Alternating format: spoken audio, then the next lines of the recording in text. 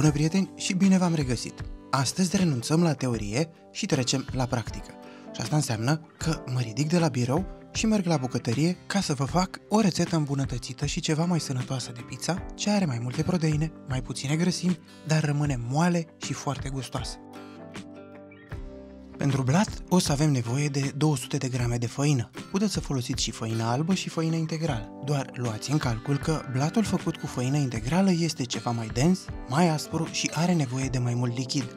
În loc de apă însă o să folosim 200 de grame de iaurt grecesc cu 2% grăsime și o să mai adăugăm și un plic de praf de copt. Iaurtul grecesc nu doar că o să ne ridice cantitatea de proteine din blat, dar împreună cu praful de copt o să ne facă blatul mai moale și mai pufos. Renunțând la drojdie, blatul este gata în 15 minute. O să mai folosim un sos de roșii, mozzarella sau un cașcaval cu conținut redus de grăsime și un mușchi sau o șuncă.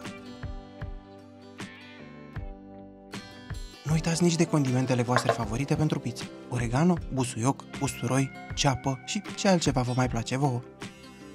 Punem într-un vas făina,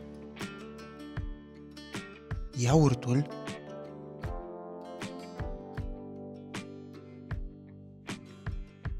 praful de copt și un pic de sare și începem să le frământăm. Eu o să încep blatul la robot ca să fac cât mai puțină mizerie aici și o să-l termin de față cu voi.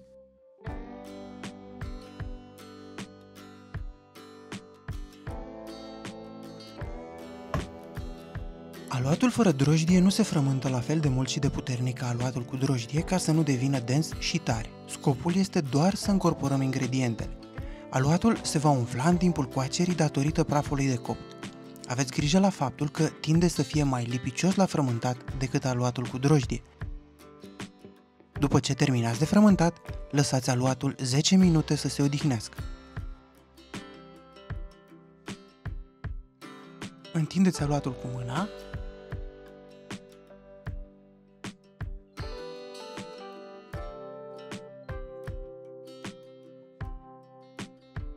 Încercați să nu întindeți aluatul prea subțire pentru că nu va avea structura unuia cu drojdie.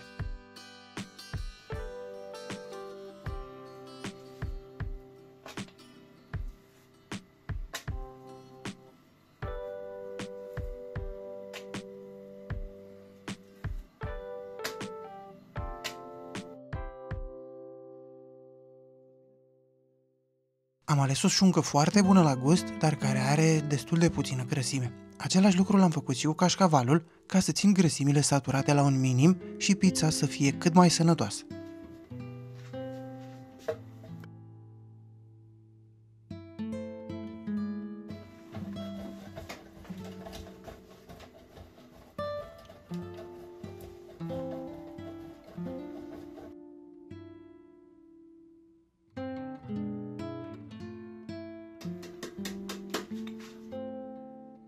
Adăugați sosul de roșii,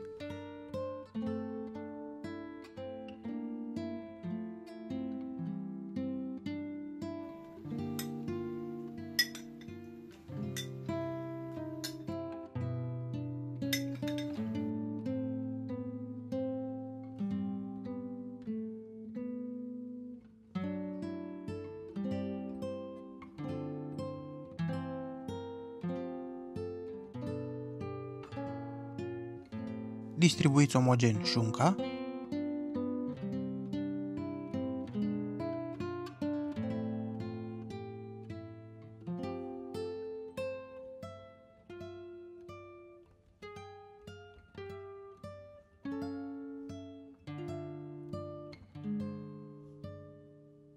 și acoperiți bine cu cașcaval sau mozzarella.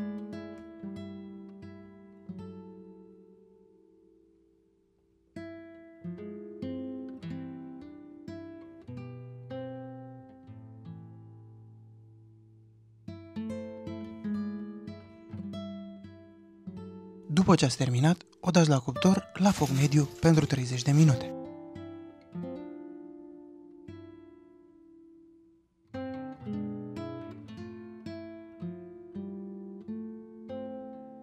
Iar rezultatul o pizza moale și atât de bună că am mâncat din ea înainte să apuc să o fotografiez pentru canal. Și în plus, are mai multe proteine și mai puține grăsimi decât o pizza normală.